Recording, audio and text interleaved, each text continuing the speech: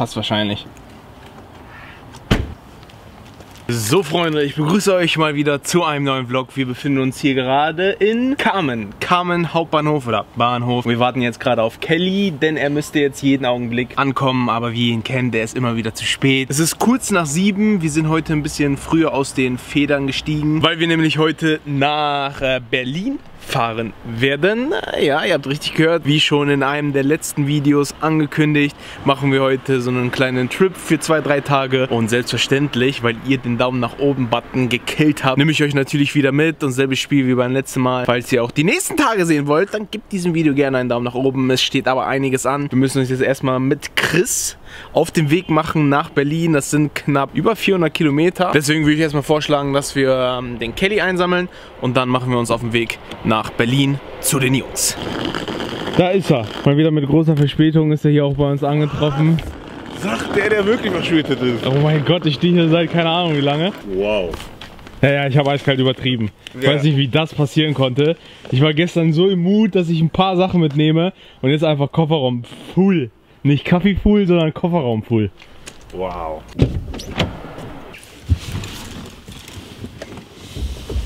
Also meine Freunde, ich befinde mich jetzt immer noch hier mit Kelly Kayo, Ketchup Mayo im Auto. Wir sind immer noch unterwegs nach Berlin. Wir sind jetzt gute zwei Stunden gefahren und haben in der Tat noch zwei Stunden vor uns. Das ist kein Spaß hier von Dortmund nach Berlin. Das ist eiskalt, ja wie gesagt 450 Kilometer oder so. Wir haben auch gerade kurz einen Stopp gemacht, haben kurz was gesnackt und ähm, hoffen jetzt einfach mal, dass wir weiterhin keinen Stau kriegen. Und nein Kelly, ich habe es dir gerade schon mal gesagt, ich verkaufe dir nicht meine Sonnenbrille. Ich weiß, du hast da gerade ordentlich Auge drauf gemacht, ne? du willst die haben, aber die ist halt meine, das ist halt meine Autosonnenbrille und deswegen kriegst du die halt leider nicht. Okay. Wir können ja mal den Kelly Kayo Ketchup Mayo fragen, was so in der Fashion-Szene mal wieder abgeht, weil er ist ja angeblich das Fashion-Lexikon. Aktuell ähm, geht nicht so viel. Doch, eine Sache.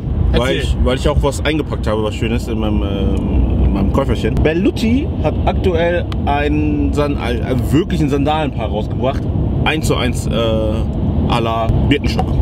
Ich habe den gesehen sogar. Ja? Und darüber hinaus kommen ja jetzt am, ich weiß nicht, wann du den Vlog rausholst, äh, am 2. Mai kommen die Sakai äh, X Nike Sneaker.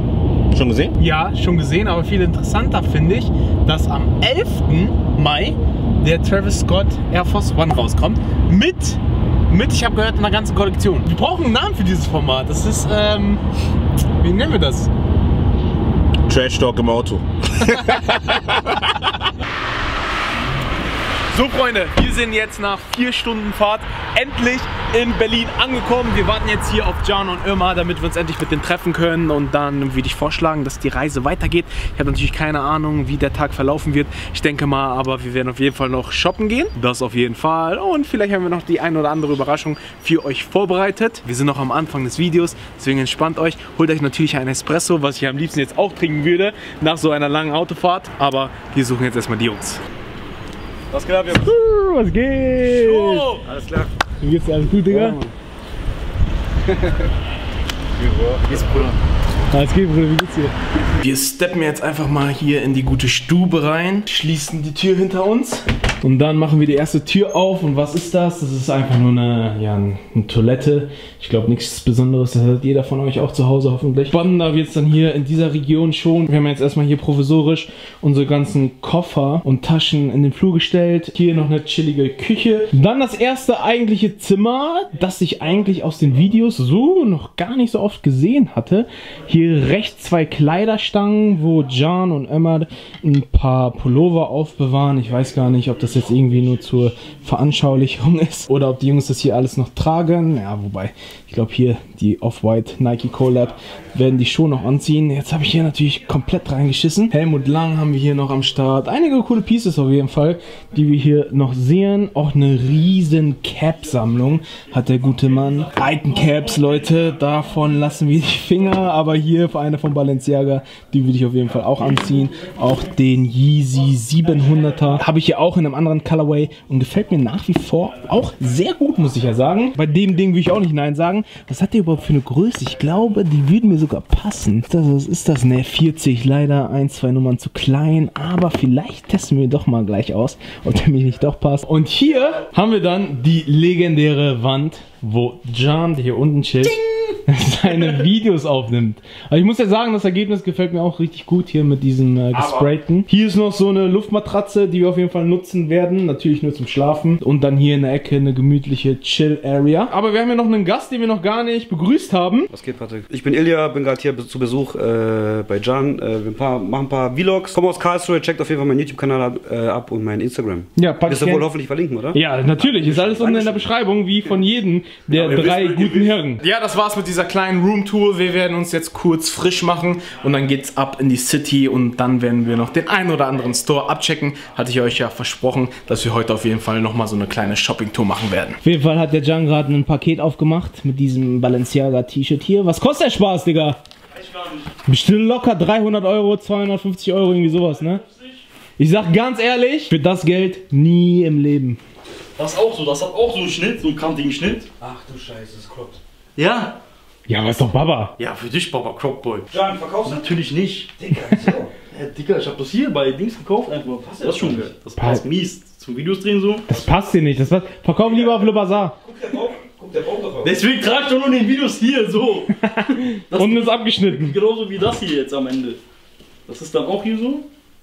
So. Oder welche Größe ist denn das? Das ist XXL sogar. XXL. Okay, Ja. fällt echt klein aus. Trotzdem so, ja. John, erklär mal kurz, wo wir gerade sind. Ich glaube, das ist Kudam hier schon, Wir sind jetzt mitten am Kudamm. Da vorne ist das KDW. Okay. Daneben ist Peak, davor ist Zara. Und hinten gibt es noch ein paar Stores, die sind nicht so wichtig.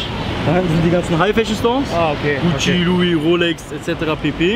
Und wir laufen jetzt direkt ins KDW rein. Alles klar, dann machen wir das mal. KDW hat so alles. Ist so ähnlich wie Bräuninger, oder? Ist wie Bräuninger besser. Wobei, wobei, warte. Bräuninger hat schon mega Auswahl mittlerweile. Ja, ist gut geworden, ne? Letztes Mal haben die schon echt nice Sachen gehabt, aber die haben auch erweitert. Die haben so eine geile Sneaker-Ecke und so. Die haben schon Aber ich glaube, bei äh, KDW ist mehr so boutiquenmäßig, ne? Nee, nee. Auch so? Unten sind Boutiquen, Gucci, Rolex auch, aber oben sind so Palm, Off-White. Okay, okay, überraschen geil. lassen. Alles klar, ich weiß Bescheid. Also hier ist so die große Männerabteilung, oder wie muss ich mir das vorstellen? Es gibt jetzt auch neuerdings die Palm Angels Track Pants als kurze Hose. Ich muss ja sagen, lange Hosen bin ich ja echt ein riesen Fan von.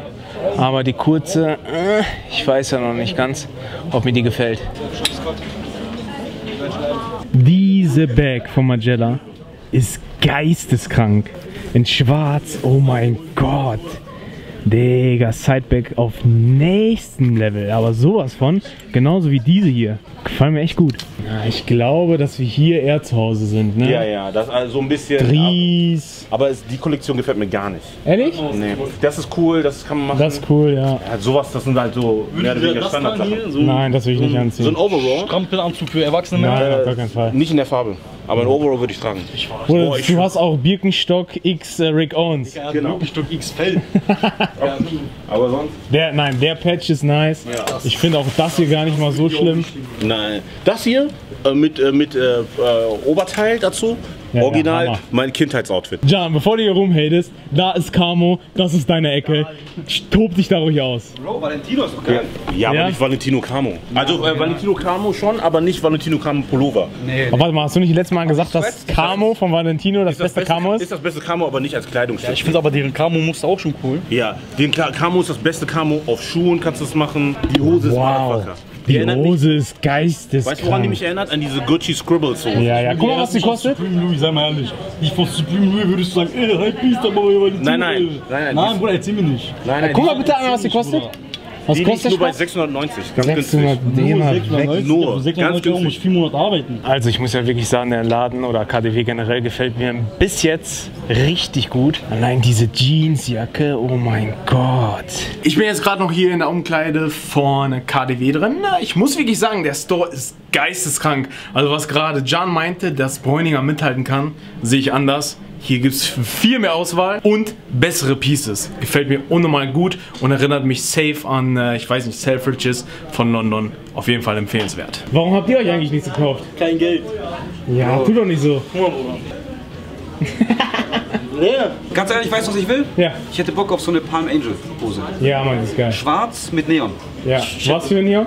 Gelb Rosa oder, oder gelb oder gab es grün auch? Ja, so grün-gelb. Genau, so gelb, grün. Rosa würde ich auch, aber Also ich hätte Bock einfach mal ein bisschen Geld zu finden. Das war es jetzt erstmal vom KDW und meine Freunde, ich bin fündig geworden. Ich verrate allerdings noch nicht, was ich mir gekauft habe, denn der Kelly und ich haben mal wieder eine Challenge abgedreht. Was genau das sein wird, werdet ihr natürlich auf dem Hauptkanal sehen. Ich bin fast ab, ich bin fast ausgerutscht. Immer sein Move so ein auf keiner sieht. Ja, Ja, ja. Wir machen jetzt erstmal eine kleine Pause, weil wir haben eiskalt den ganzen Tag noch nichts gegessen. Dann, Jan, Dann kommen wir wieder zurück, checken dann die normalen Stores wahrscheinlich ab. okay. H&M, Nike.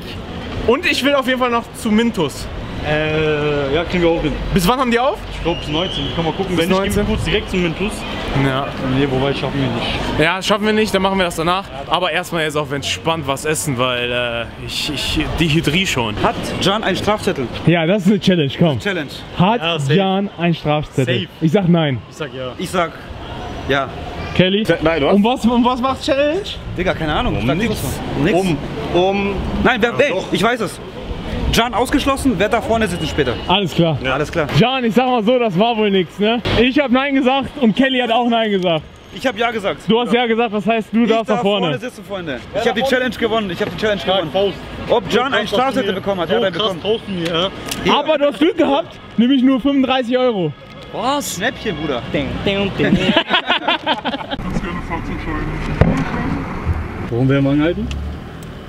Ähm, ich denke, dass Sie Ihr Fahrzeug so verändert haben, dass es so ordnungswidrig ist. Deswegen werden Sie anlassen. Inwiefern denn verändert? Das werde ich Ihnen gleich sagen. Aber davon abgesehen, Führerschein bitte auch, darf ich äh, einen Fahrzeugführer jederzeit anhalten. Das ist ein Diesel. So schaut's aus. Für diesen Diesel ist dieses Fahrzeug zu laut. Ich denke, dass Sie da eine extra Box eingebaut haben, einen Tonverstärker, wie auch immer man das nennt. Und äh, das ist der Vorwurf, den ich Ihnen mache. Ich habe zwar keinen blassen Schimmer, was jetzt hier gerade passiert, aber Jan wird hochgenommen, der Arme. Er wurde hops genommen. Was angemacht ist, oder?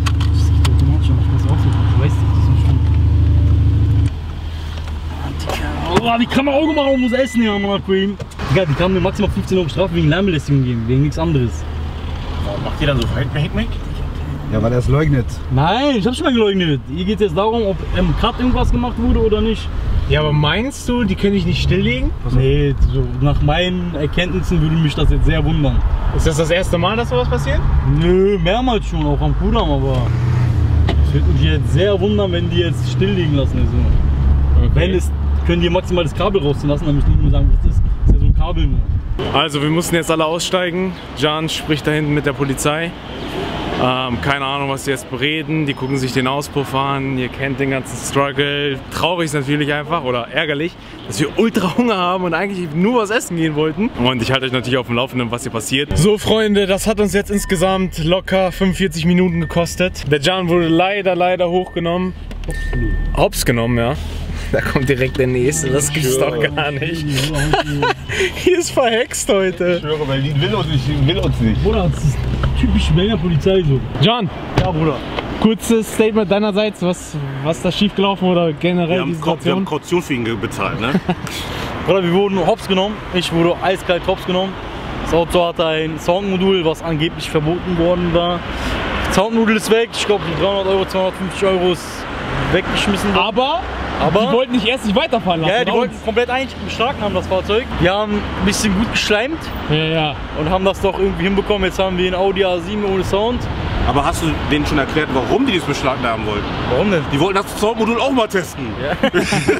die wollten auch mal. Die Poliz wollten Polizei war mit mit Arm raus. Ich nehme ein Bacon Cheeseburger. Ich wünsche euch auf jeden Fall guten Appetit. Lasst es euch schmecken.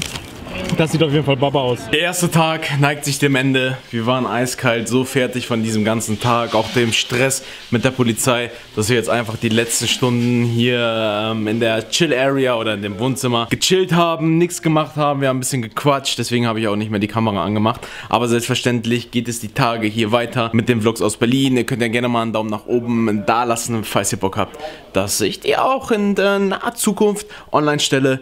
Wir sind erstmal hier fürs Erste raus, wie bereits erwähnt. Und ähm, wir gucken erstmal noch, was die anderen so treiben. Also ich schaue mir gerade Johns Kleiderschrank an. Nach dem äh, Diebstahlvideo äh, wollte ich gucken, was noch eigentlich vorhanden ist. Okay, was für ein Diebstahlvideo meinst du? Bei John wurde doch reingebrochen.